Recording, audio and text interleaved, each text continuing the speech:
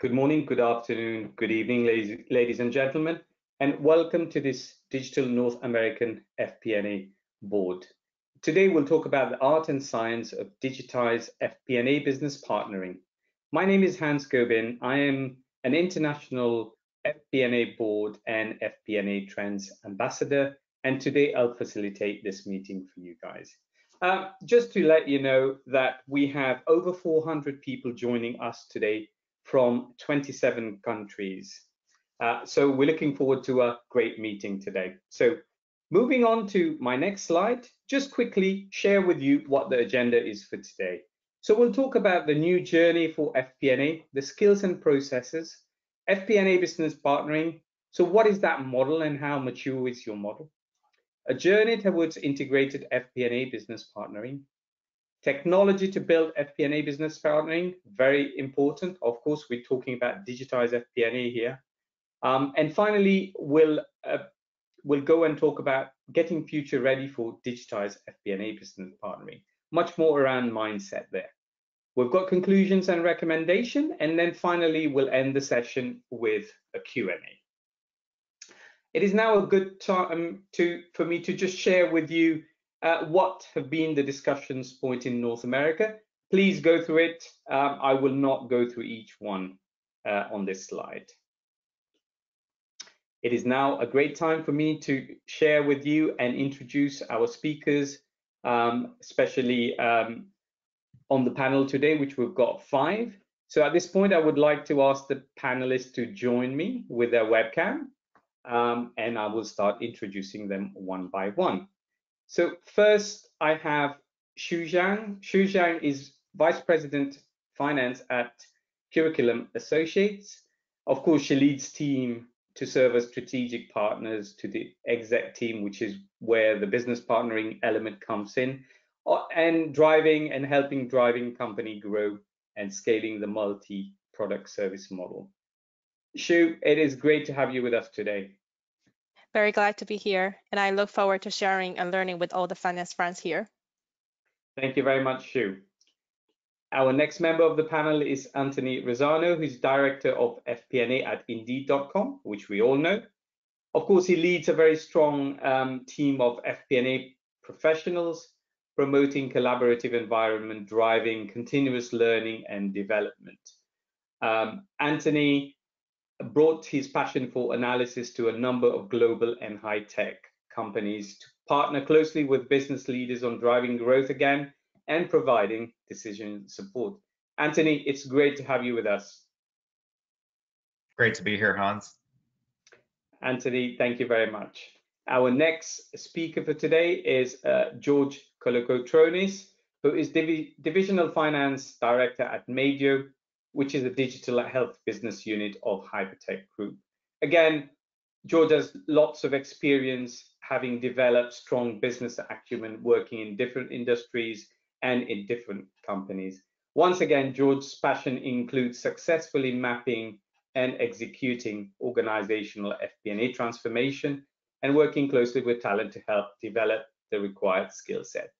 Uh, George joins us today from uh, Canada, Montreal in Canada, uh, and will talk to us about the journey towards integrated FP&A business partnering. George, great to have you with us. Pleasure to be here, Hans. I'm looking forward to our discussion. Thank you very much. I just missed mentioning that Anthony was from New York and Xu was from um, Boston. So moving on. We've got Pras Chatterjee, who's Senior Director of Product and Marketing for Planning and Analysis at SAP, of course, focusing on SAP Analytics, uh, Cloud and SAP BBC, BPC. Uh, also served as Solution Architect for SAP, focusing on planning and consolidation. Uh, Pras is also a, a chartered professional accountant uh, and has pre presented with us in previous occasion. Uh, Pras will talk to us about technology today and how to build that FP&A business partnering model using technology. Pras, great to have you with us today. Thanks, Hans. I'm happy to be here and looking forward to our discussion today. Thank you. And finally, we have Tom Hood. Tom Hood is currently Vice President uh, Executive Vice President of Business Engagement and Growth for ACI, PA, and CIMA. Uh, Tom, you've got a, a, great accolades there, but of course you're one of the most second most influential person in accounting by Accounting Today magazine with over 750,000 followers. But much more importantly, the work you've been doing uh, with AICPA and CIMA, which is uh, great. And of course, former CFO as well. Uh, Tom, great to have you on the panel today. Thank you very much for being with us. Hans, I'm looking forward to a, a great discussion. Thank you. Guys, we've got a great panel of uh, members today, and they, we've got great presentation and insight coming from these guys shortly after a few slides that I've got to cover. So guys, if you may switch your uh, webcam off and go on mute, um, I've got a few more slides and then we will move on to the presentation. Thank you very much. Uh, so quick one there, um, just quickly on FP&A Trends Group, um, just highlighting there the eight chap chapters of the North America board uh, we're bringing together today. Uh, also worth mentioning best practice workshops and consultancy that we have recently started on demand from our members. Um, very important for me to let you know that it is a 90 minutes webinar. We've got four great polling questions. We would like to hear uh, your view and what you're doing within your own organization via the polling questions. So please vote. Uh, please ask questions via the chat box. You can ask questions now all the way through, even during Q&A sessions. We will answer some of them today. The others we will answer to you via email. Uh, you can network with us directly via LinkedIn. The presentations are also available in handouts for you to download, or you will receive a copy of the recording and a copy of the presentation within a couple of days after this meeting. Finally, very important for us is when I close the session, you will get a feedback pop-up form. Please give us your feedback. We'd like to hear from you on what we can improve, but more importantly, what else would you like to hear about in the future?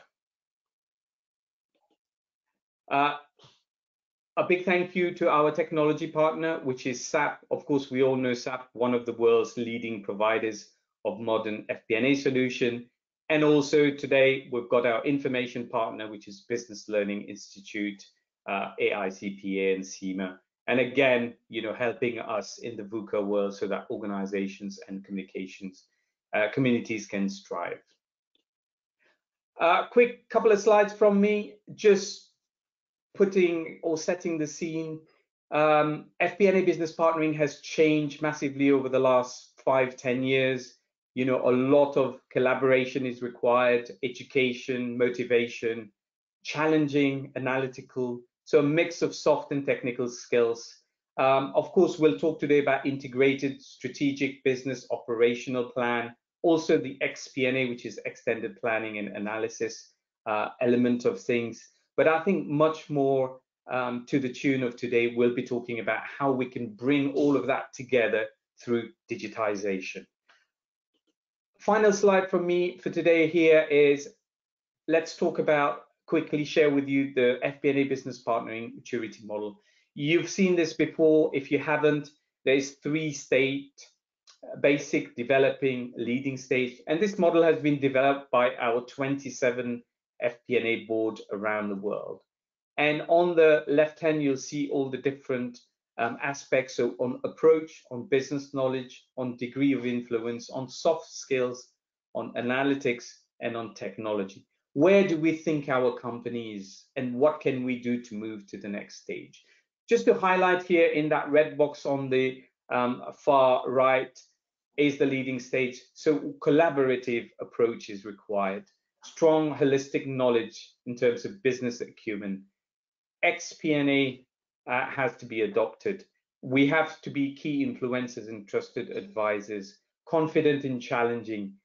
In terms of analytic, integrated driver-based model, real-time scenario planning, integrated analytic platforms, prescriptive and predictive analytics using AI capabilities.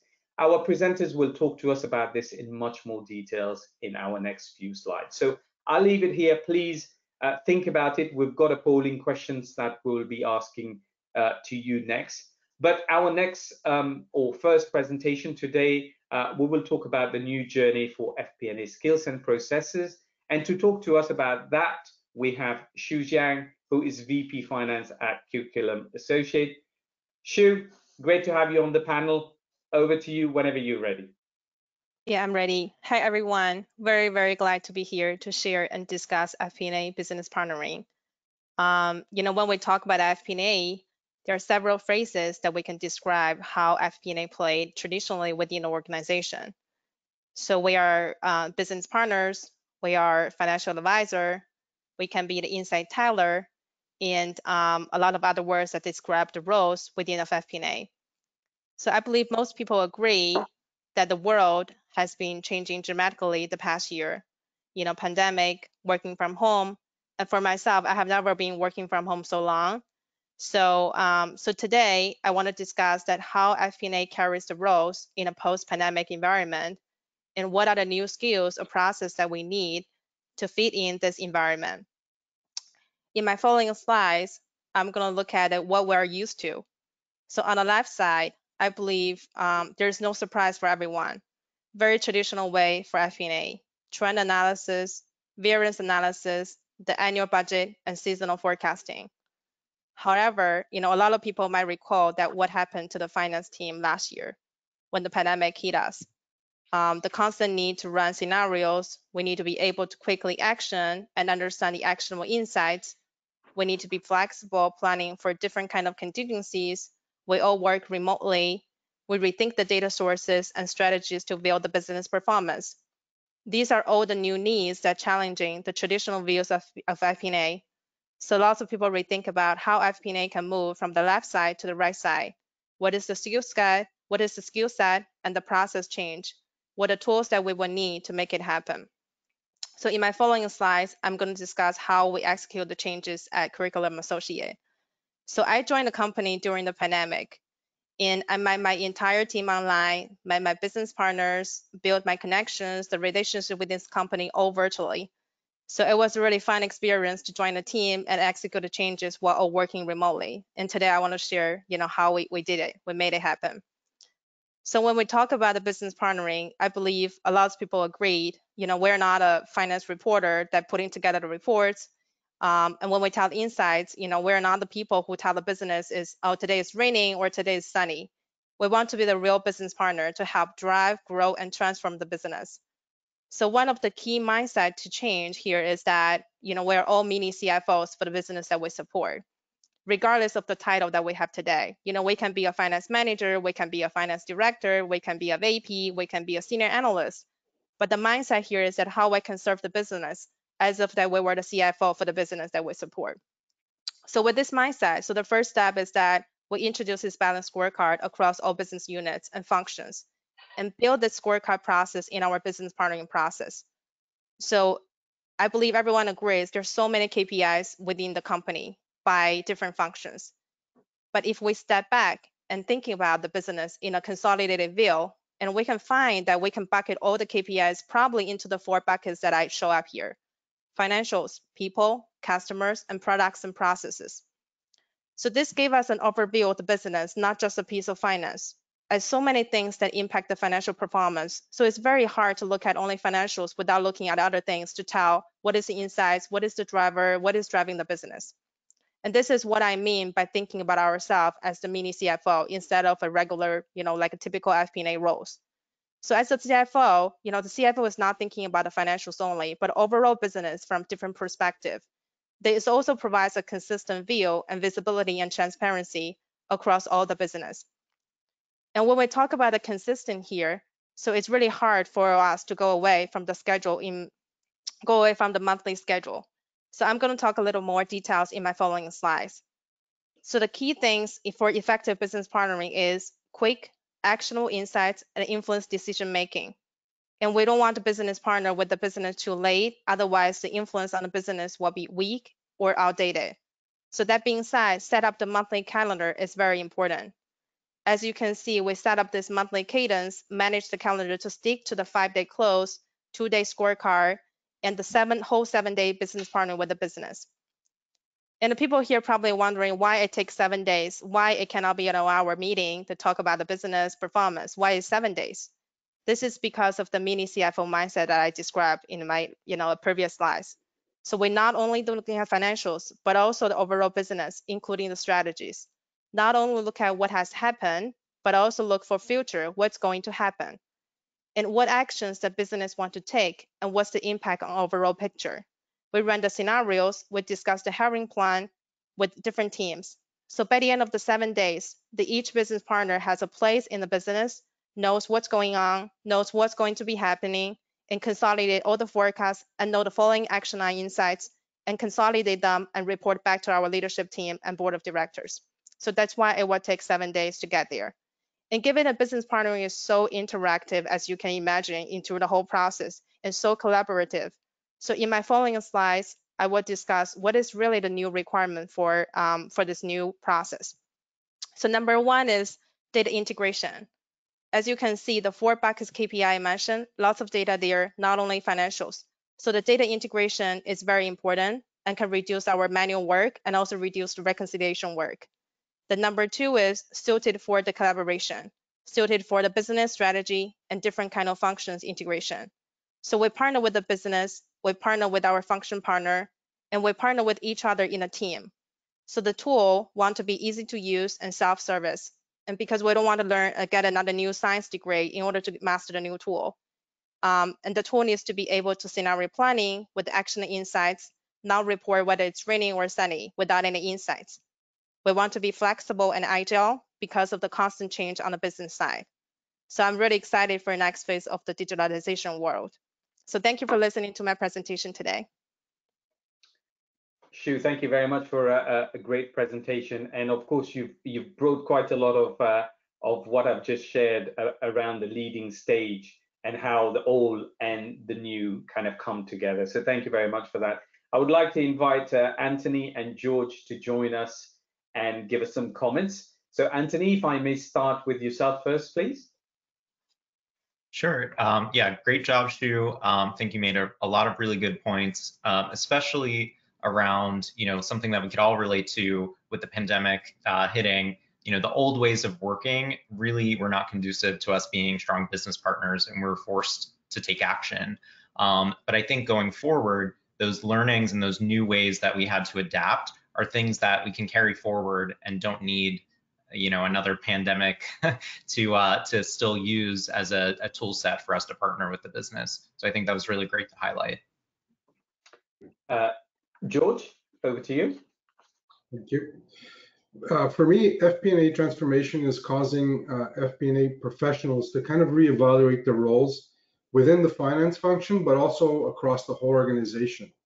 And I find this change in the playbook by which we work um, requires us to kind of take stock in the required skills that you need to be successful. So in Xu's presentation, uh, I really like how she's presented the evolution of what's happening right now and how continuous professional development is encompassing key FP&A events such as uh, rolling forecasts and scenario planning, and they're all centered around this uh, this issue of actionable insights. So I think it was very well done.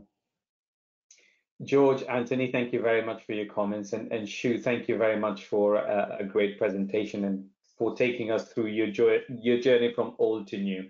Um, having heard from you now, Xu, let us hear from our panel, um, our um, attendees today on what they're doing in their organization, uh, especially to do with um, where do they think uh, they believe they are on that business partnering uh, maturity model. So guys, if you can vote, please. So do you think you are at that basic stage at the very beginning of your uh, development or developing stage in the middle or the leading stage that I described to you early on. So A or one, basic stage, two, developing stage, or three, leading stage.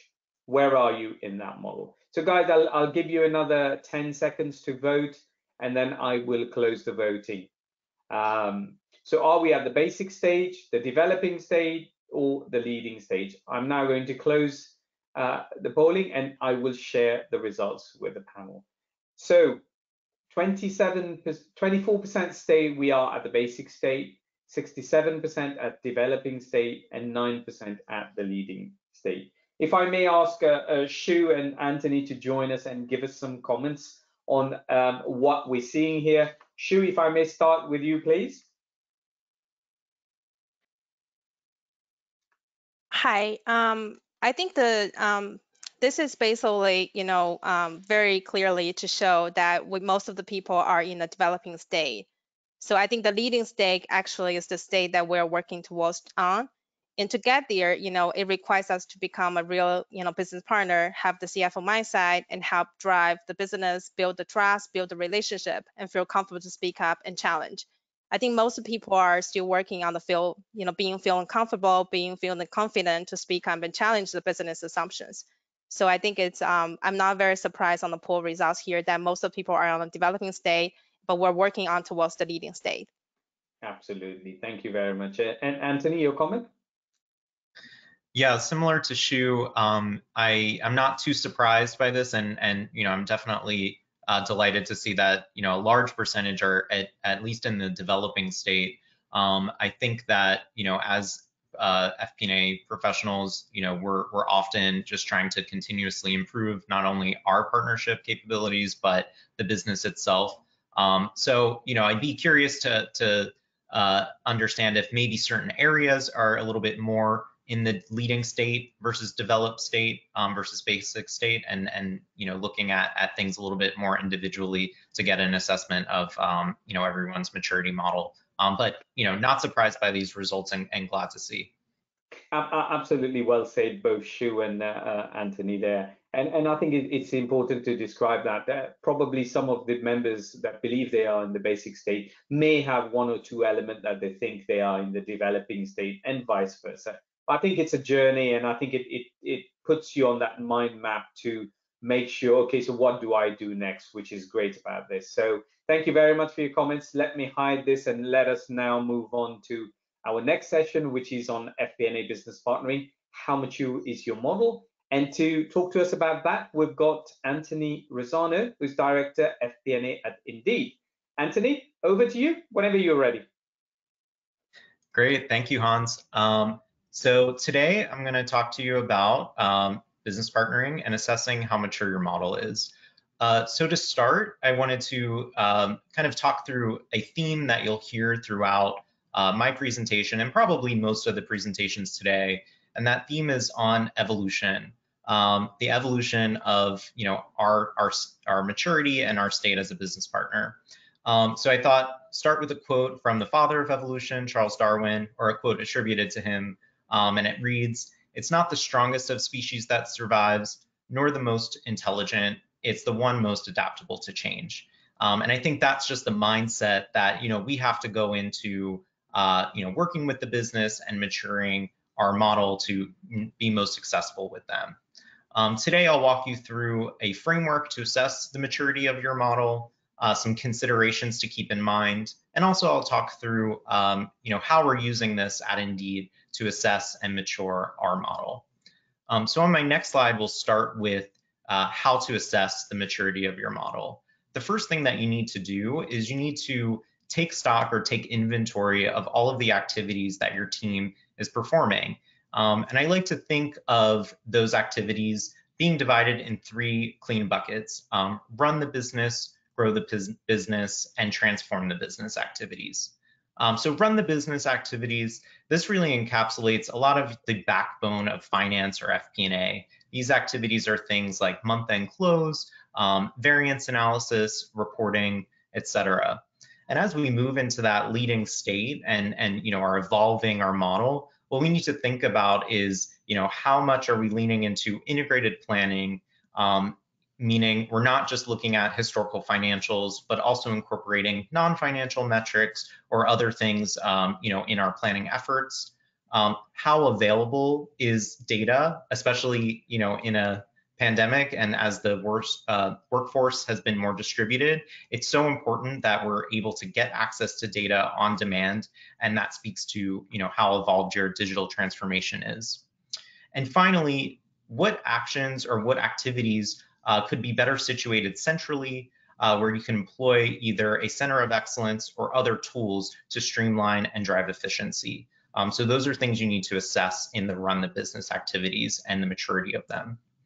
Um, grow the business. This really is where most of your uh, business partnership actions and, and um, subject matter expertise actions uh, reside. Um, you know, here is where you want to really assess how you're working with the business and partnering with them um, and how evolved the, that planning is. So are you using one kind of stale uh, planning uh, scenario or are you constantly working with them through continuous efforts to both analyze and understand what is driving the business, not only to know where you're going, but also to challenge the business and see if we can continue to push for that growth uh, even stronger than they believe. Um, this allows us to be uh, at the table and to help drive decisions and that support.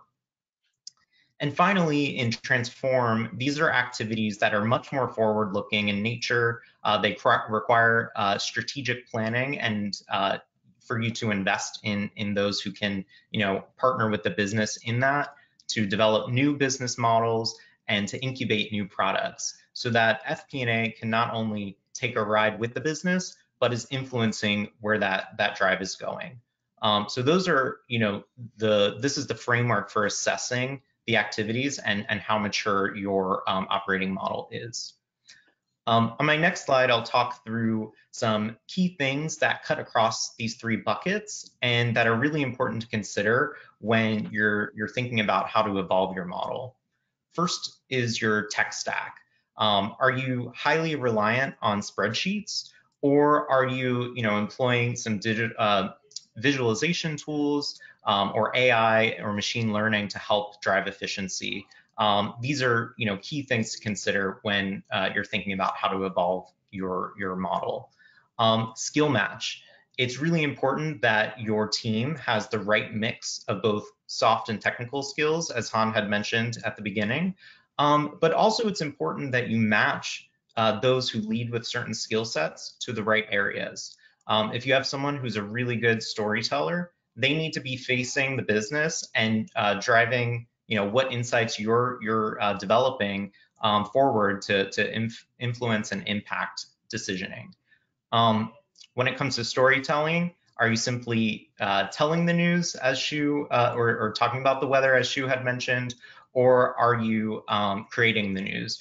Are you gathering those insights and driving um, impact on what decisions are being made? So it's really important to assess and to consider with how mature uh, your model is. And finally, uh, this notion of one plan, um, which this speaks to XP&A, which will, will talk about later uh, in, in our session. But how closely related is your strategic, business, and operational model and, and uh, or plan, and how well do they work together? Um, you know, making sure that your, your company is committed to this is really crucial in the evolution of, of uh, your maturity. Um, so, you know, those are some tools that you can use to assess and to consider how mature your model is. Um, you know, I'll talk about now what uh, Indeed, how Indeed has used these tools um, to assess that and to make some changes. Um, so first we started with this three box framework with run, grow, and transform. Um, and, you know, not only did we overlay them on the activities that our teams were doing, but we, we use that as a lens to really understand that our teams are already situated and aligned to these buckets. Um, we have a corporate FP&A team that is very focused on a lot of the run the business activities. We have subject matter experts that are embedded with our business partners that help them grow.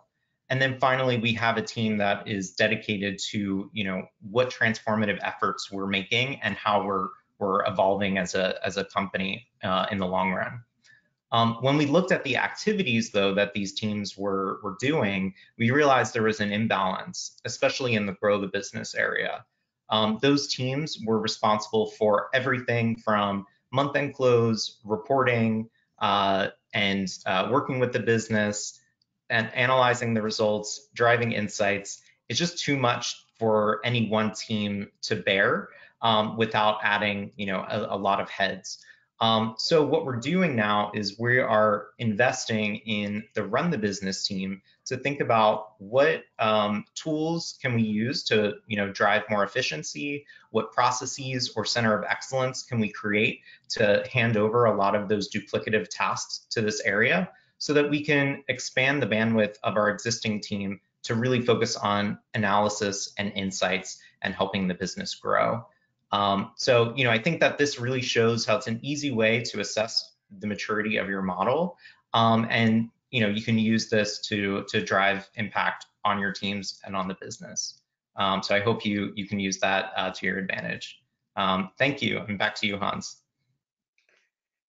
Love the way uh, you've broken it at indeed into these three elements, Anthony, and the three pillars, and, and how you've shared with us your uh, experience over the last um, slide that you've gone through. So thank you very much for that. I would like to invite um, our fellow uh, panelists, um, Xu and George, to join us and give us some comments, please. So Xu, if I can start with yourself, please. Yeah, um, so one thing I really appreciate Anthony mentioned here is about building a strong team. For example, like people are good at storytelling, should face the business, and people good at you know running the data, maybe work for you know the center of excellence and run the business, while the people who is dedicated to grow the business can focus on analytics and partner with the business. Um, and then in this way, you know, everyone is not burning out, and everyone has their strength, fully utilize their strength you know, I, I, I, I cannot agree with him more than on this because, you know, team is actually one of the most important thing to me as well. Um, so having the right team and right culture um, is the key foundations for success in my mind. And in a day, you know, we're all humans and we, we cannot be perfect and we cannot be strong at every element of the FP&A world. Um, so having the strong team, it doesn't really mean that every team member needs to be strong in everything, but it means that how we can have the right feed and right combination of the strength and weakness of the various team member to make the whole team strong. So that's my biggest takeaway from Anthony's um, presentation. So great job. Thank you, Xu. George? For me, uh, it, it's nice to see how Anthony put together a framework which kind of shows how organizations progress through different phases of the FP&A transformation. So as we saw from the previous poll results, organizations today are in different degrees of completion of their FP&A transformation. So the, the model is constantly evolving and every organization is kind of trying to determine which tools to use and how to use them. So in my opinion, in, in his presentation, Anthony did a great job of kind of demonstrating how combining technology, uh, the skill set, the storytelling, and then one plan or one integrated approach, uh, especially at Indeed, uh, how those components all work together. So it was very well done. Thank you very much, George. Thank you, Xu. And Anthony, thank you very much um, for your presentation and the comments. Uh, now that we've heard from Anthony, uh, Xu, and George um, quite extensively on skills, let us hear what um, our members and our uh, attendees today think on um, what skills do you think your organization need to develop for better FP&A business partnering? The first one there is it data skills? Is it technological skills? Second one, third, business knowledge, or fourth, the softer skills? If you can vote, please. So first option is, is it data skills? Technology is the second option. Business knowledge is the third. And fourth is softer skills. So if you can vote, please, I will give it another uh, 10 seconds or so. Um, and I will close the vote now. And I'm sharing the results. And what the results tell us 28% say data skills, 28% technological skills, 33% business knowledge, and 12% softer skills. So the first three are, are there or thereabouts in terms of percentages.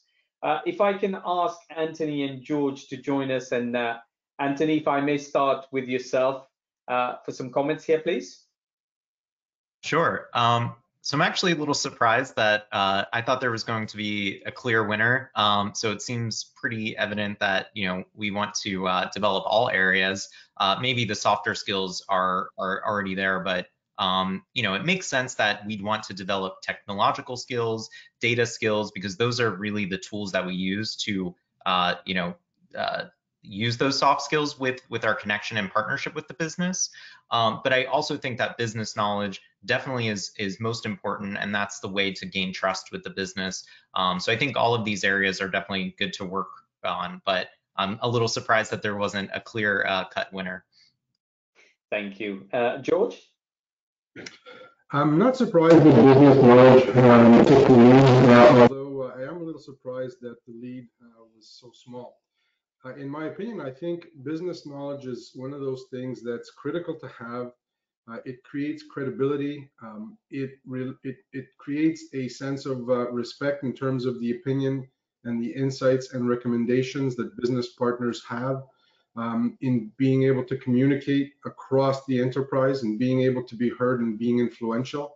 And I think while having solid data skills and having a fundamental understanding of technology and of course softer skills such as presenting and communication uh, without having a true foundational uh, understanding of the business and being able to exhibit that understanding uh, I think the business partnering role uh, would, would would suffer a little bit so I think that in my opinion that's probably the the number one thing that that uh, is uh, important in terms of to develop and I'm not surprised that um, our participants today have selected that as the number one.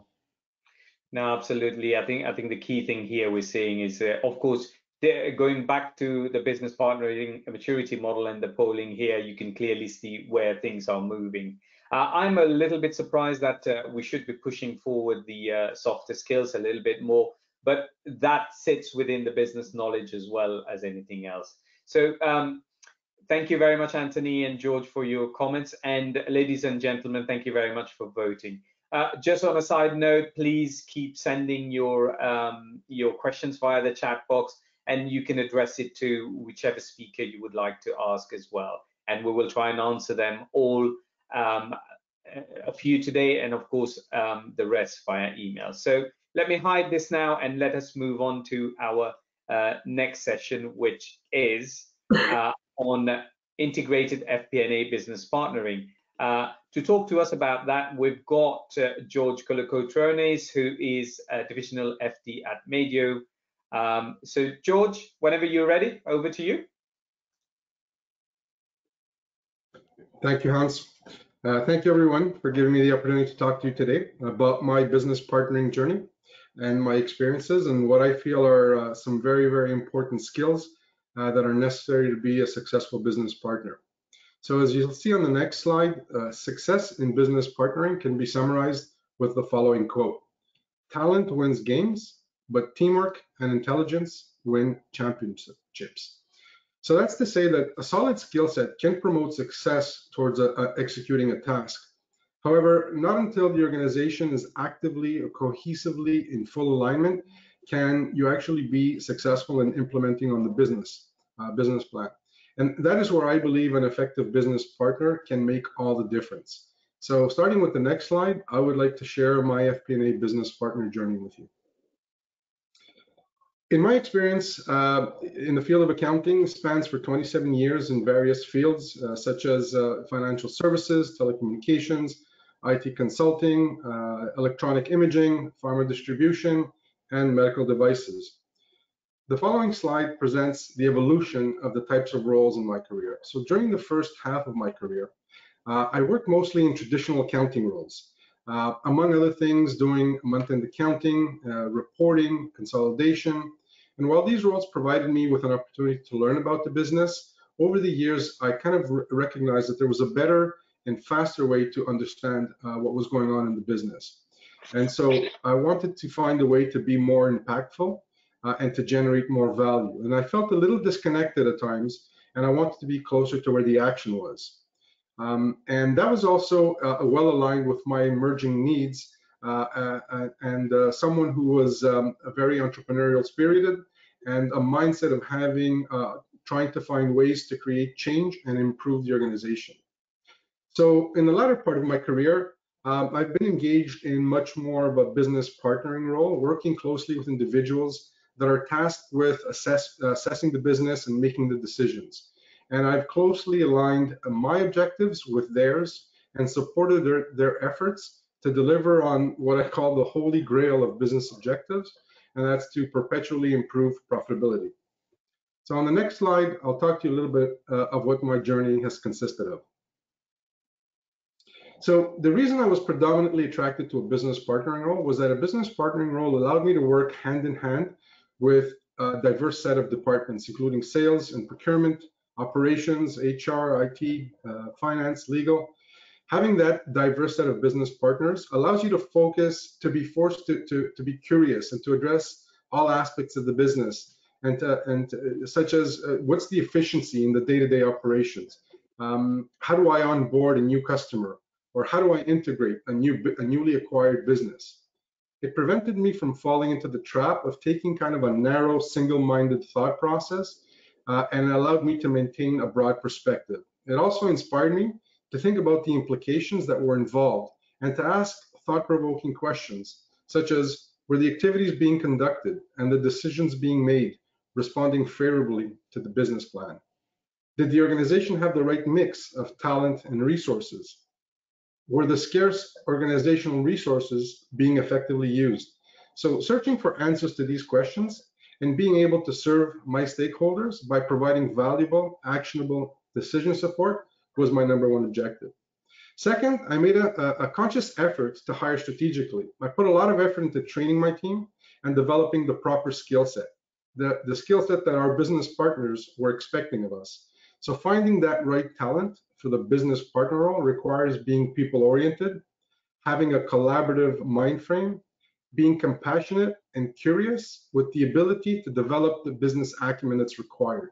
In my opinion, that requires three distinct qualities. An ability to resolve conflict, to be resilient, even in the face of adversity, and the ability to demonstrate agility and flexibility, particularly when everybody else struggles with that. Third, I had to put a lot of effort in understanding the numbers, connecting the cause and effect, and allowing the story to be told. In order to be a trusted business partner, one of the first things that was clear to me was that I needed to have a strong understanding of the business. In order to have a seat at the table, to be listened to, and to have weight behind my comments and recommendations, I needed to know what I was talking about. So first I made sure to build knowledge of the business by following and understanding the available data, okay? Watching and listening all the time, and then asking a lot of questions. And I also made a concerted effort to break the silos between finance which had traditionally been a, a back office function, and the business operations. And over time, this showed my stakeholders of my curious and inquisitive nature, my wanting to learn uh, about the business. Second, to become more influential and well regarded, especially during times of crisis, I needed to be more resilient, to be able to understand the numbers and paint a picture, to clearly articulate the outcome, and to engage in the respective business language so that I assure my business partners that we're, we are being listened to. And lastly, I knew that I had to leverage one of my greatest strengths, that of my analytical thinking. So I followed the numbers. I made sure that I understood what the numbers were saying, I identified emerging trends, and I created a story to help transition the quantitative to the qualitative. This approach allowed me to bridge the understanding of the business problem across all stakeholders. And I felt that in order to gain engagement across all functional stakeholders, I would have to present a common identifiable idea. And what better way to do that than a story? On the next slide, I'll talk to you about uh, where I am today in my journey. So my journey today has brought me to a young organization in the digital health space. Medeo is a growing company, but so far they have done so without a formal FP&A process in place. Since I joined about half a year ago, uh, we have made good progress on establishing a financial business plan, uh, but we're far from being over, uh, being being done. Uh, and as, as you will see on the slide today, this organization is really at the beginning stage of its FP&A transformation. So we're going from having no formal budget to uh, implementing our first official uh, enterprise-wide budget. We're working on Excel-based KPI to something more visual-based in, in, terms of a dashboard. The business model is transitioning from a simple assumptions-driven plan to one that's centered around drivers. And we're also now beginning to make different assessments on alternative outcomes um, and what those really mean. Finally, our business intelligence capabilities are currently manually driven with limited availability. So where do we want to go from? Uh, from from now, from next. We want to go to the future. So I'm excited about the possibilities that are open at Medeo. Uh, with a very entrepreneurial management team, very open-minded to change, I see the possibilities in the future. Once the organization has absorbed uh, the the the uh, the um, the planning mindset, they've got implemented the necessary technology, and they've displayed the required financial discipline. I see the possibility of extending the planning function to going to beyond budgeting. And I would also like to transition our driver-based planning to something that's more uh, integrated uh, performance management system, as well as to morph our fiscal forecast into a rolling forecast. Given that Medeo is part of a global technology company, I'm also excited about the potential to grow our scenario planning using AI and machine learning. Hopefully you've enjoyed my story and you can relate in some part to my experience. So if this resonates with you, if you've had similar experiences or you're trying to advance in the FP&A spectrum but have found it challenging, I'd love to hear from you and hopefully I can come back and present some further developments. Thank you.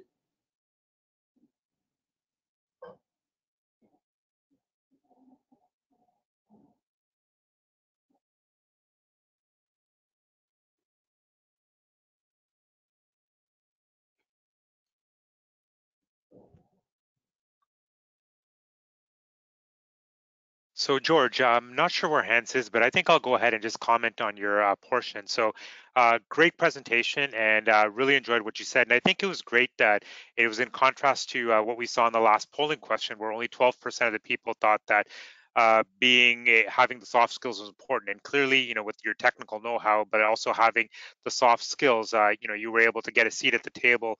And having a seat at the table, obviously, you know, lets you, you leverage all the technology and all the changes you made with things such as driver-based planning, move further ahead. So uh, definitely, I mean, you know, obviously there were four choices in the last poll.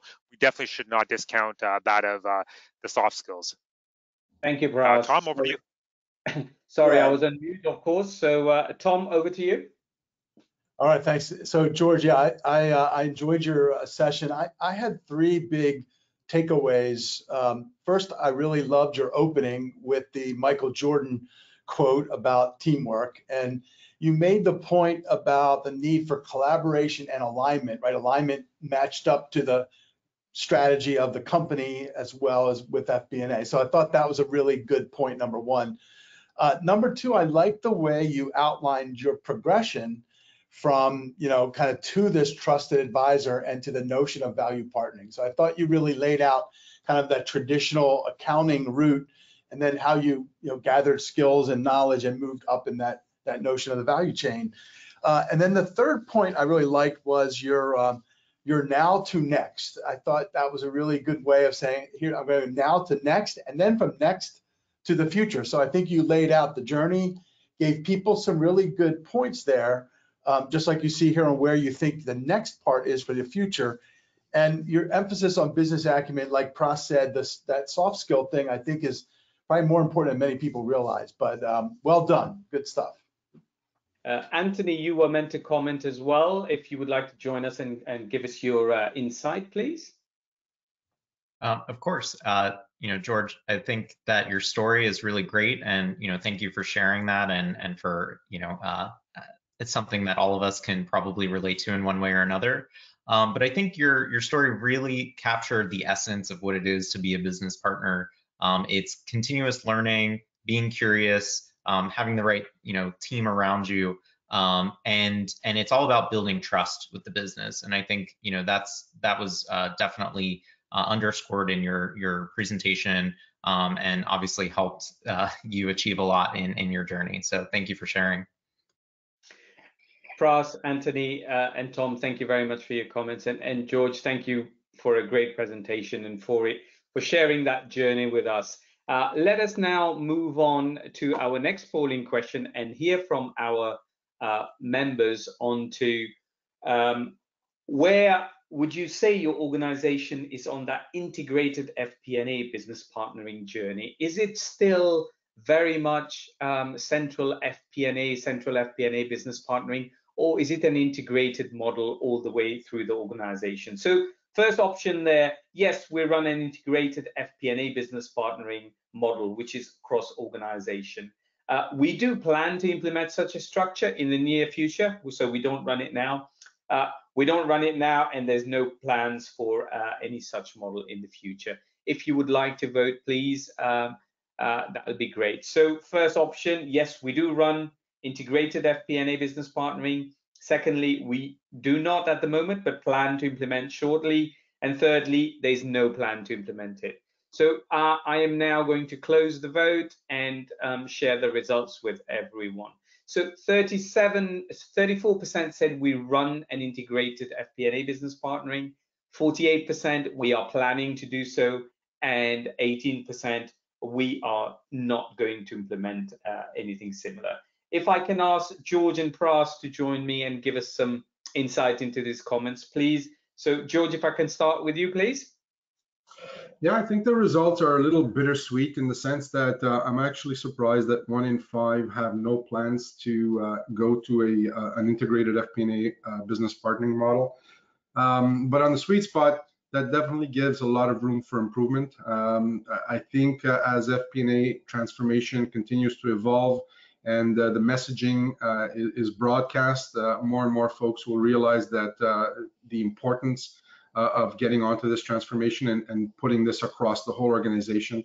Uh, and I, I would uh, I would beg to uh, to differ that those results would probably go down. I would expect at least everybody to be in uh, some sort of uh, integration process or or you know beginning one.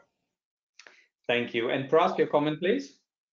Yeah, I concur with what George was saying. I mean, I'm a little surprised with the 18%, but again, there's always room for improvement. And um, you know, what I would say, I mean, there's always many reasons, whether it's corporate support, top-down, you know, leadership uh, views on FP&A and their strategic value, some of which which I'll cover in my session going forward. But you know, I expect that that number 18% as we revisit it over time, it will hopefully start to drop, and we'll see a greater increase in uh, those that have implemented such a structure and those that are about to.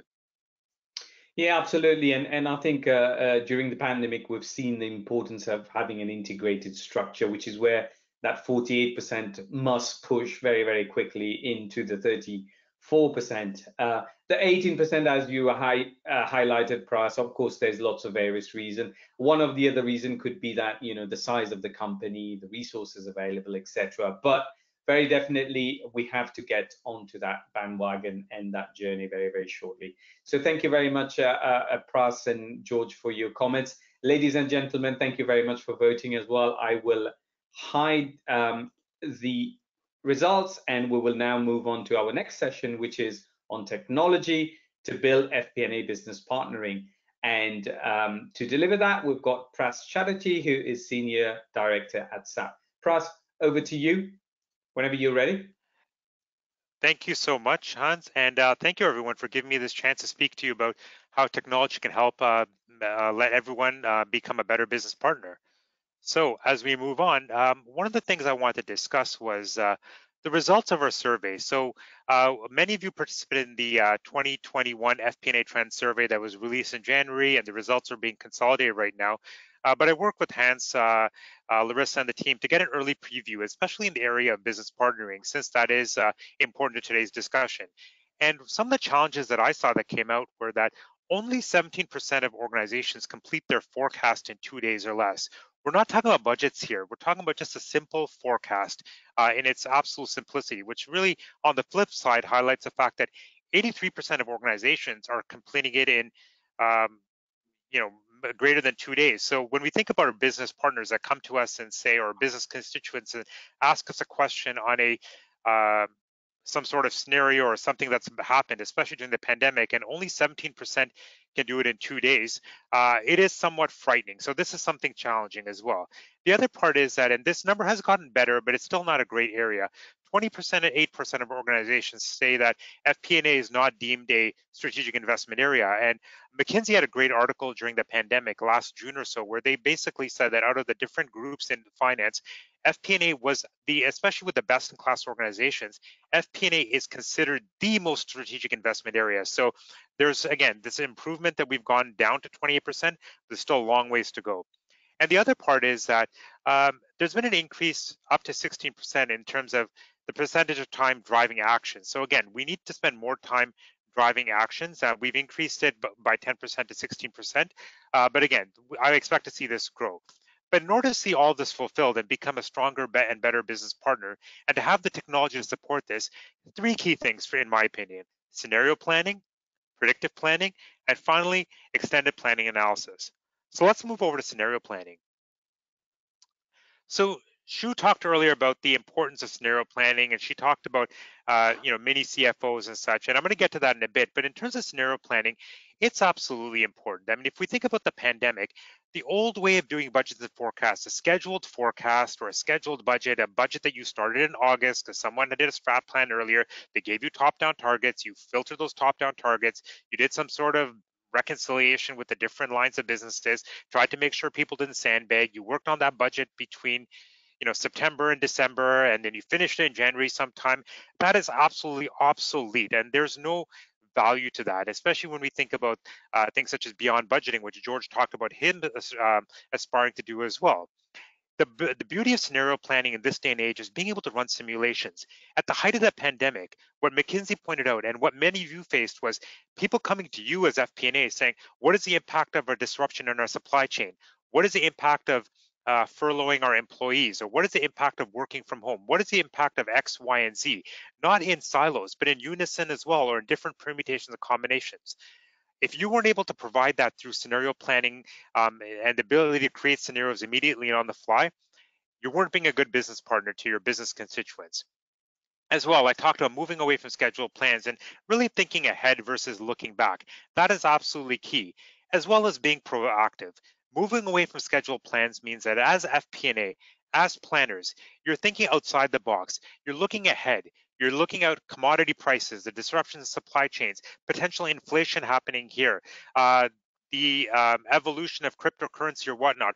All these different things that may or may not impact your business or present you with opportunities, and being a proactive in terms of planning with scenarios to give you a better idea of what's about to happen. Now, if we move on next to predictive planning, and really the beauty of predictive planning is that it is not a scary technology anymore. All modern best-in-class FP&A solutions in the cloud have machine learning and AI um, predictive planning built directly into it. Now, I've often ha have people say to me, oh, well, we don't have the budget to come up with a data scientist or whatnot. You know, Larysa, Hans, and FP&A uh, Trends have often talked about having skills in this area, but you know, you don't really need to be an expert in this. These tools exist in modern budgeting and forecasting solutions, which means that with this, you can um, add predictive scenarios to your scenario planning to combine your human intelligence with artificial intelligence and machine learning to basically say that, hey, this is the data set that I want to work with. These are some of the human intelligence I'm putting in based on my expectations, and let's see what's generated. Now, it might not always be the right answer, but it's an answer that'll let you uncover hidden insights. Because again, not everything is available to you at all times. I mean, the human eye or the naked eye only has so much uh, perception available to it. But uncovering these human, uh, these hidden insights will effectively allow you to challenge different areas, uh, challenge norms, look at things that again might not have been visible to you. And the beauty of all this is with scenario planning and easy to use predictive planning, which is available at the click of a button, you can simulate so many potential future outcomes, best in class, worst in class, upsides, downsides, and with all of this come to a conclusion that again, you can share with your business constituents. Because the worst thing that can happen is not only when your business constituents come to you with a scenario, with a forecast, with a potential outcome that they're looking for, and you say, give me two days, give me more than two days, which 83% of you might be doing, um, the whole I'll get back to you, it doesn't work in today's day and age. FP&A needs to be proactive and come up and come ahead with all these insights. So what brings us all together with the next slide is effectively the whole process of XP&A, extended planning and analysis.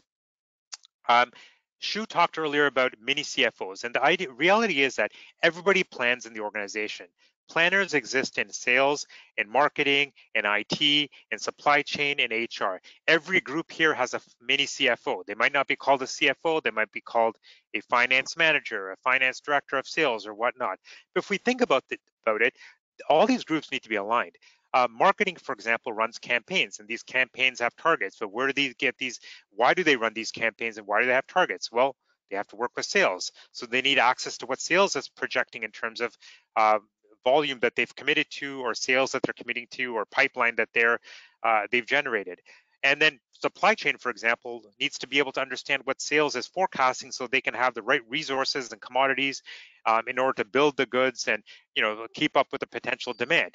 HR needs to potentially look at this to see that do they have the people on board right now, the people coming to you know the table later on to be able to support all these endeavors? And does IT have the appropriate capital infrastructure with regards to computers or whatnot to support everybody's initiatives? The reality is that everybody's planning and where finance sits is effectively in the middle, quarterbacking the whole initiative through modern cloud-based planning technology where they can bring all of these uh, solution, all of these siloed groups in in one area and effectively lead the process for finance. Because ultimately the beauty of all this is that when everybody's planning together, the organization moves and thinks as one. Finance is able to be a much better business partner because they've got a pulse into what's happening in every facet of the organization. They can lead everyone, hold their hands, and ultimately work together to make faster and more confident decisions for everyone and ultimately increase shareholder value and increase the organization's space in the marketplace. Thank you, Pras. Great example of what are the technologies available out there um, and you know how we can move using those technology, you know, the business partnering element into this digitized age and you know move that 16% percentage that you shared earlier from FP&A Trends Survey a lot more into insight prov uh, provision, etc. So thank you very much for that. Can I ask Tom and Xu to join us and give us some uh, comments on uh, presentation, please? So uh, Xu, if I can start with you, please. Yeah, so um, one thing I appreciate in Pras presentation is, um, you know, the strategic alignments within all departments and the collaboration you know, um, I think regarding the strategic alignment, you know, in my humble opinion, that the key milestone for FP&A career progression is if we can think of a big picture and strategically. And this is pretty aligned with what I described described up front, like the mini CFO mindset, right? The how closer we're getting to the CFO, which is how we can make the career progression on that. And also the collaboration is really not between the finance and business, but also between the, all the finance members who support, you know, various business to ensure the alignment here. You know, when we talk about the team, you know, we talk about FP&A team, which is a subset of the finance team. And but you think about that, we cannot live very well without the support from our accounting team, which is also part of the finance team. And we really couldn't live very well without the support from the business. So overall, you know, it's all team culture. It's a you know collaboration. It's all one team, either within FP&A or entire finance, or you can think about the entire G&A or entire company. It's all one team and collaboration. So this is my biggest takeaway from Pras's presentation. Thank you. Great job. Thank you. Um, Tom, can I come to you, please? Yes, uh, Pras, loved your uh, session. I, I, I, saw a couple things. I, the, the start out with the survey, 28% have not moved into that strategic realm. So I'd say, wow, we still have work to do. And I think the earlier survey on this session kind of validated that. Um, the other one is driving action. We like to say insights turned into action, right? Or is the critical thing we do. You you said we move from 10% to 16%. So again, we need to keep doubling down on getting that moving. The other comment you had, which I, I liked a lot, was the notion that in order for us to move into this value partner, we have to be proactive.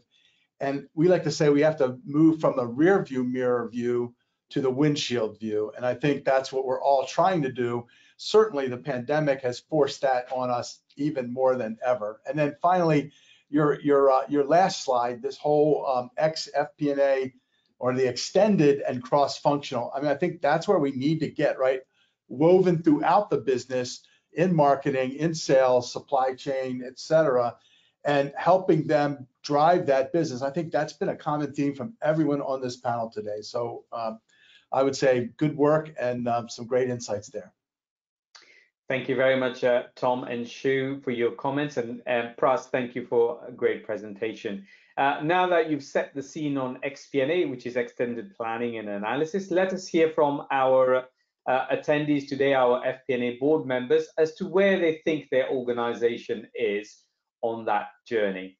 Um, so what is the most effective process for unlocking extended planning and analysis opportunity in your organization? Uh, if you can vote, please, uh, is it a flexible FP&A system? Is it an effective FP&A business partnering? Is it integrated processes?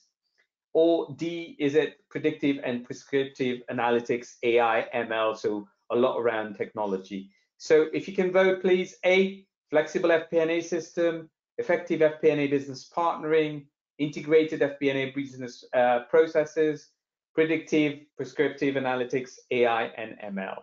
Uh, we've got 70% voted already, so I'm now going to close the session and share the results. Um, and the results is showing us 16% is around flexible FP&A system, 30% business partnering, 36% around processes, uh, and finally 18% around predictive and prescriptive uh, analytics. If I can ask um, Pras and Tom to join us, please, and give us some comments on this. So if I may start with you, Pras. Yeah, absolutely. I mean, the results don't surprise me, and they do make sense. I mean, ultimately, I mean, the flexible FP&A system is the easy part. I mean, do your research, get a best-in-class solution, and that's done. But it's really the integrated FP&A process. Uh, explain the value of integrated FP&A and an XP&A process to everyone across the organization, and getting them to buy in in terms of why this is important. Maybe changing some of their norms and processes for a best-in-class process. You know, that goes beyond helping me to helping we. I think that's probably the most important thing. Thank you very much. And Tom, your insight, please. I'm going to echo Pras there a bit, but um, it looks like you're actually showing that progression. And obviously, the the place we're all trying to get to is that predictive and prescriptive uh, analytics driven by AI. One of the things I'm thinking about is we have to start thinking about AI and IA, meaning artificial intelligence and uh, integrated intelligent, right? We got to have intelligence augmented, which would be the human side of this. So I think as we all learn these processes, we have to start understanding what tech can do and then beginning to use that to get to that notion of the predictive and prescriptive. So I think this kind of shows that journey, if you will. Uh, spot on both of you there. Thank you very much for your comments. Uh, uh, if I may now hide this, uh, and ladies and gentlemen, thank you very much for voting as well. Uh, also, a quick reminder, please keep sending your uh, questions. We've got some great questions for the panels here. We will attempt to answer all of them uh, via email, definitely, for those that we can't answer today. So let me hide this now and let us move on with our presentation. Um, our last presentation is getting future ready for digitized FP&A business partnering.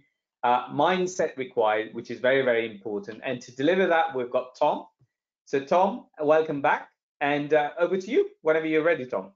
Thank you, Hans. Let's uh, let's move right to this next uh, slide because I think um, a couple things. You know, woven through everyone's presentations has been this idea of skill sets, and we found that uh, as well as tool sets. You know, we just finished with uh, Pras talking about the tools and technologies that can help us move to this uh, extended FP&A business partnering. So um, but I like this quote from Mike Walsh of Futures, and he says, if you automate, you must elevate the skills of your team. Now, we've been researching this for quite a while, and I want to talk about three things because we've learned that it takes the tools, but mindset is one that's often overlooked. I'm going to talk more about that in a minute. And then the right skill sets is the most critical. I'm going to share our latest research and some of the insights we've been getting from talking with um, CFOs all over the world. So let's go to that next slide. This is uh, the Hackett Group's most recent research and two big insights that validated everything we kept hearing in the market. So first is they did their top 10 key issues for finance organizations. And for the first time in the history of this survey, which I think goes back at least 10 years, skills showed up. It was never on the top issues. And this time it showed up as aligning skills and talent with the changing business needs. I want, want to note the changing business needs because what you're hearing from everyone today is that all the changes in the businesses around FP&A are accelerating.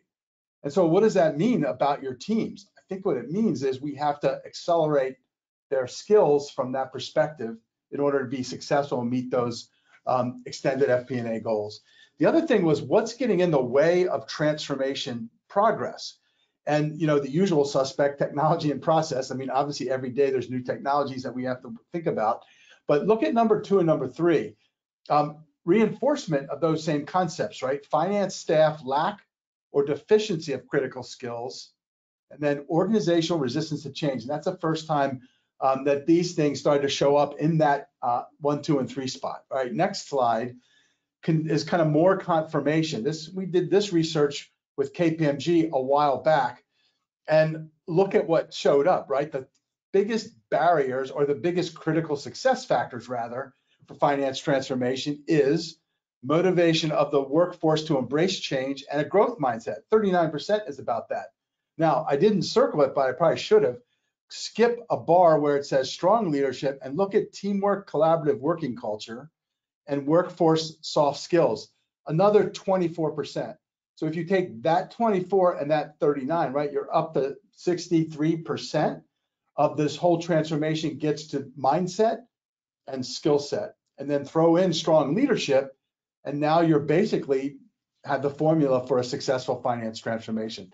So let me show you what kind of skills, that's the next slide, where we really talk, kind of did a lot of research on this idea of a T-shaped professional. That means broad boundary crossing skills across the top on top of your deep technical, you know, financial, analytical, it could be the accounting part of that, uh, might be the tax team, all those. That's the deep technical expertise that we have kind of table stakes. So what we've learned is those skills on the top are, are going to be what allow you to cross all those different departments, divisions, and bringing that you know business together, if you will, from a strategic standpoint. So I think you can see that in this notion, looking at that little circle, right? Technical skills, business skills. So three quarters of that are not technical skills. We call them success skills from that perspective. So that's what we're seeing that the need is. And the final slide goes deeper into all of those categories. So that's one of the things we've been building is a curriculum that you can go all the way up and get a CGMA certification, or you can pick the right skills. We would say select the top three or four buckets and get your people skilled up in the areas that you need the most. Because I think a couple people have already talked about the idea that it takes a team and strengths come from different players. So you can create a curriculum that would supplement the right people with the right skills. So tool sets, you got to have the right tools. That's kind of the you know table stakes to get this technology moving. But make sure you've got the right mindset and the right skill set. Thank you. Thank you, thank you, Tom. Um, great stats in the beginning, of course, very uh, mind-provoking, thought-provoking which is uh, uh, understandable. And uh, the whole thing around culture, change management, mindset, skill set, etc. Very, very important indeed. Uh, let us get some insight from Pras as well. So Pras, if you can join us uh, and give us some insight, please, on Tom's presentation, that'd be great. Yeah, absolutely. So it's a great uh, presentation, Tom. Very insightful, and obviously, I'll never be able to repeat everything you said as well as you did. But I mean, the key things that came up to me were, um, obviously, I, I think we still need to go back to leadership and people skills. I'm glad you pointed that out because it's not just about understanding the technical skills. Because in order to adopt you know big changes like xp&a business transformation finance transformation and you know becoming a better business partner. You need to be able to lead and in order to lead you need the people skills to be able to build the relationships and really navigate across the aisle or whatnot uh, the other part of it is digital finance. I think that's extremely important. I mean, I come across organizations often where a lot of the finance people I often come across, uh, they're you know well trained uh, through their accounting studies or you know many times MBA studies at interpreting an income statement, a balance sheet, or cash flow.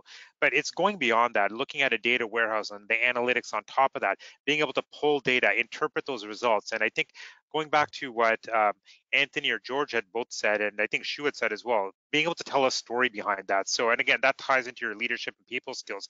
Um, you know, again, taking all that modern information in there, not just finance data, but the operational and finance, marrying it together and making sense of it, um, and present that uh, in a leadership uh, uh, uh process. Thank you. Thank you. Thank you for your comment there, Pras. And, and Tom, thank you for a, a fantastic presentation. Um, it is now a great time to go on to key takeaways. So I will ask uh, the remaining uh, members of the uh, panel to join us uh, whilst we go through um, what are the key conclusions from each of uh, your presentations. Um, Xu, if I may start uh, with yourself. So one quick takeaway from you, please. Um, my biggest takeaway is that you know we, we, get we get together here and we share and learn from each other the past to get to the leading stage. Actually, you know, Han just talked about in the beginning of the session.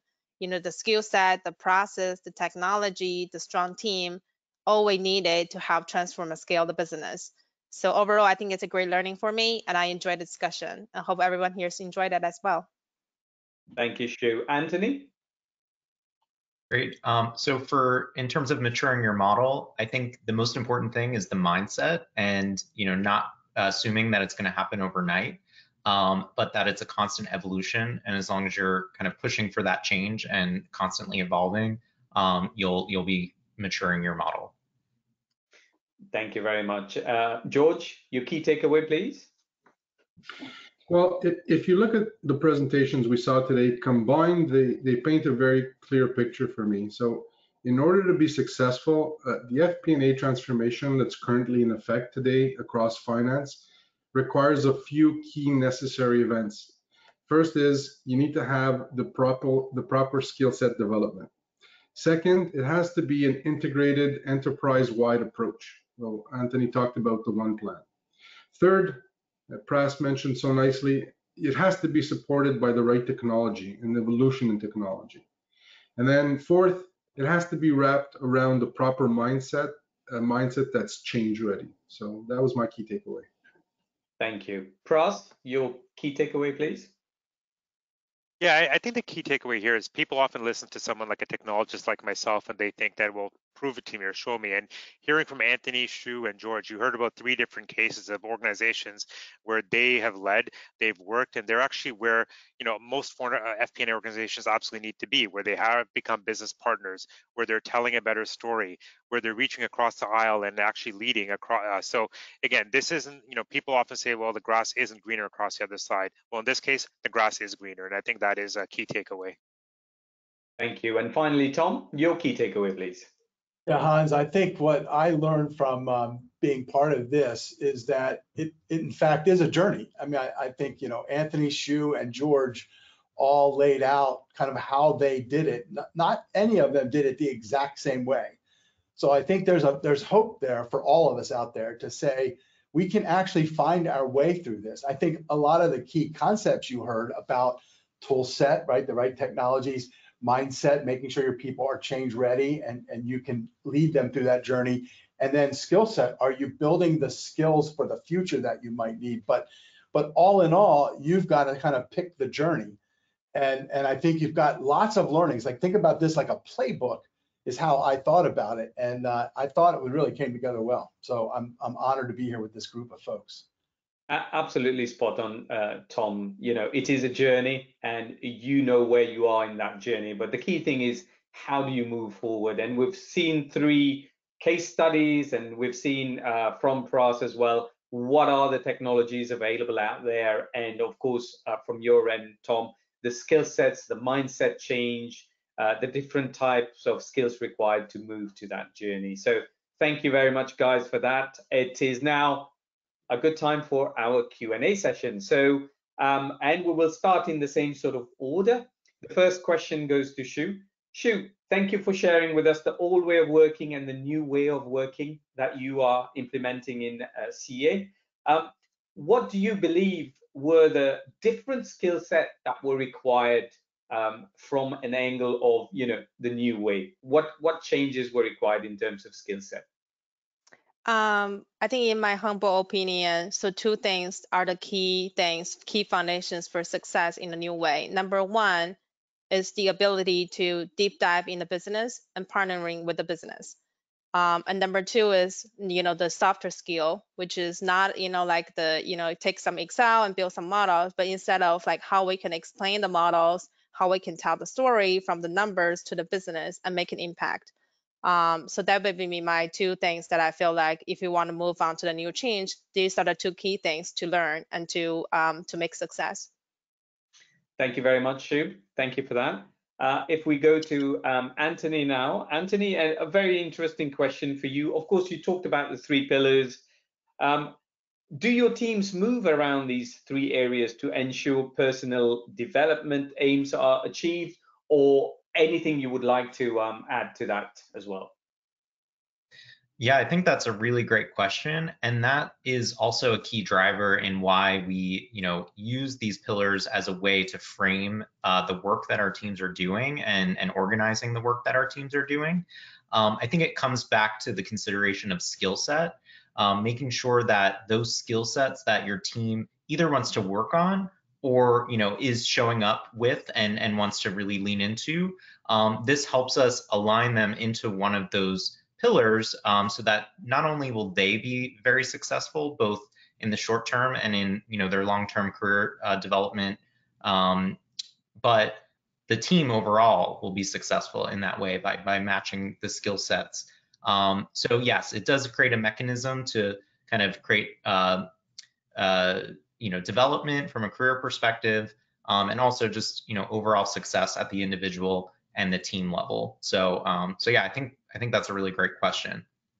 It's a great way of upskilling, uh, you know, um, and cross training at the same time each member of the team, as well as you know giving them insight in in the all three different pillars. So so thank you very much for that, uh, uh, Anthony. And we now go to um, George. Uh, George, a very interesting question. Of course, you've described, you know, uh, where you are now, where you want to be, and then towards the end, what is that vision look like? You know, what is the ideal what is that leading stage so to say uh, can you just tell us a little bit about the timeline for each of these uh, three different stages please sure thank you for that question so um, as i mentioned in my presentation we are uh, going to be implementing our first budget process so that'll be um, in effect uh, later this year so um, with that budget process, uh, we'll start to uh, kind of uh, look at the ready, uh, um, the readiness of the organization to, to take the next steps.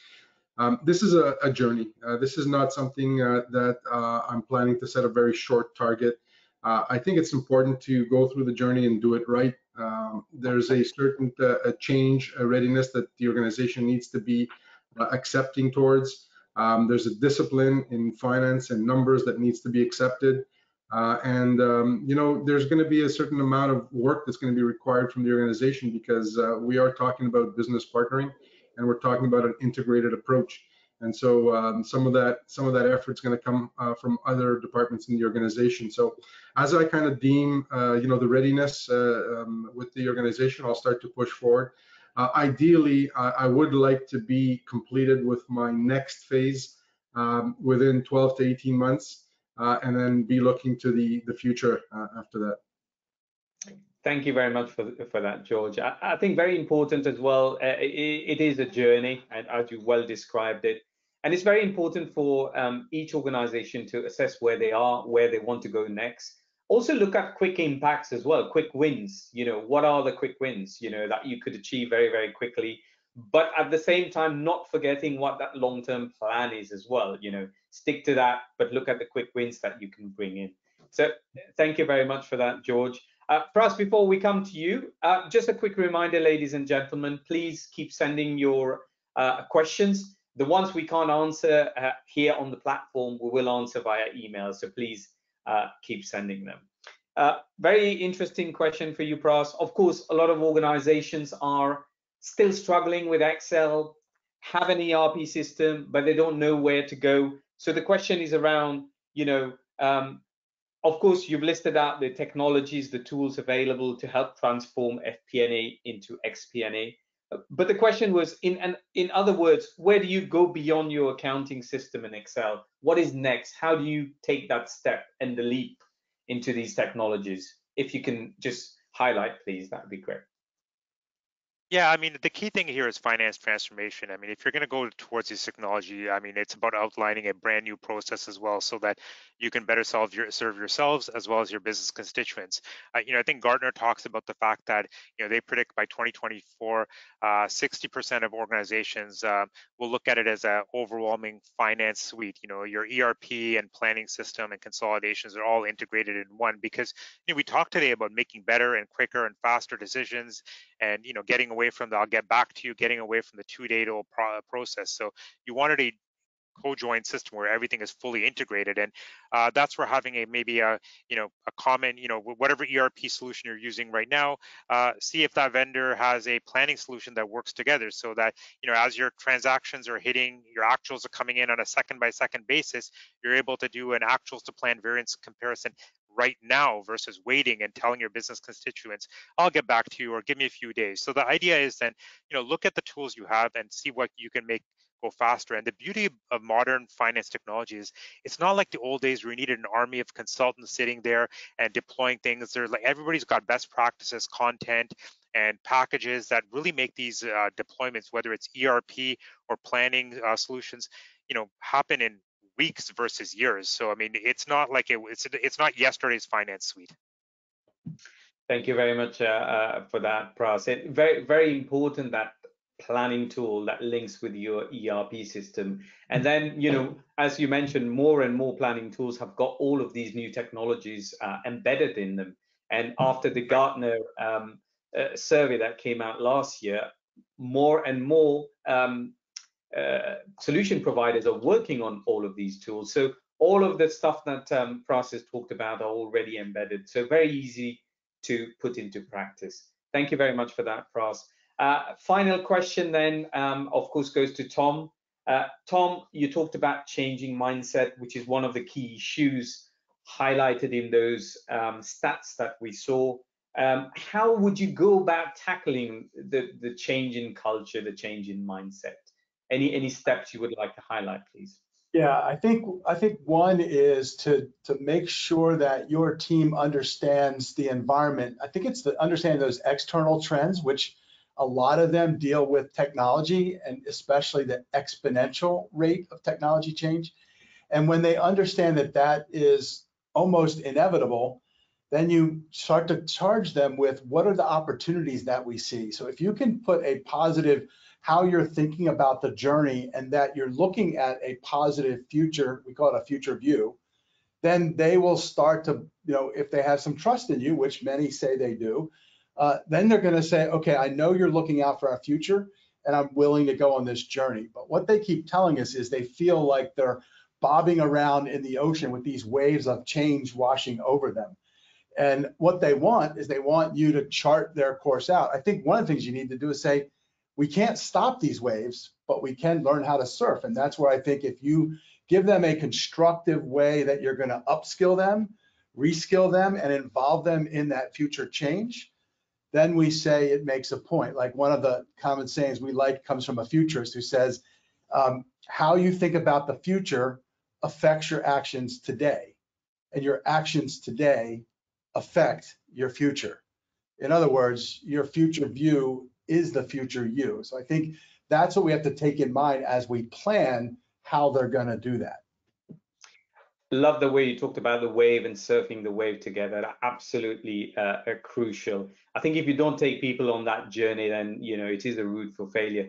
But also taking, um, of course, you have a lot of leaders, you have a lot of middle managers that will buy into the whole process, and a few that won't. So I think it, the key thing is for them to help the others understand what that journey is and bring them along on that wave as well. So thank you very much, Tom, and, and panelists, thank you very much for answering the question. We've got a few, we will answer them all via email.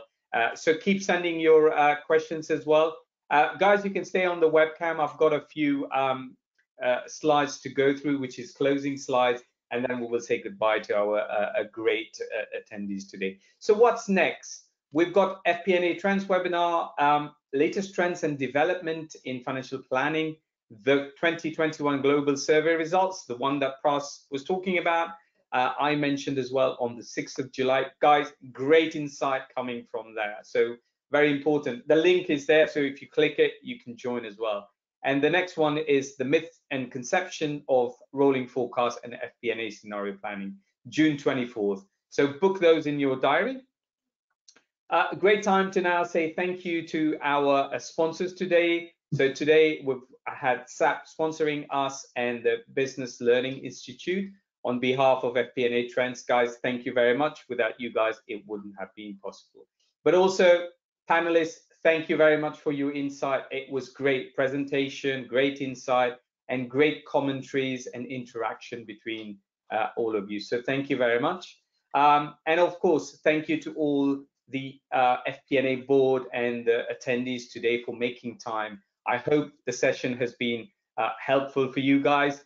This is how you can connect with us um, via uh, our website, LinkedIn, YouTube, Twitter, etc. Please stay connected. Uh, this does bring us to the end of our webinar today. I would like to thank you again very much for joining. Uh, remember, when I close this, you will have uh, the feedback session. So please give us your feedback uh, once we close the session. Thank you very much. Thank you. Thank you. Thank you, everyone. All right. Bye bye, everyone.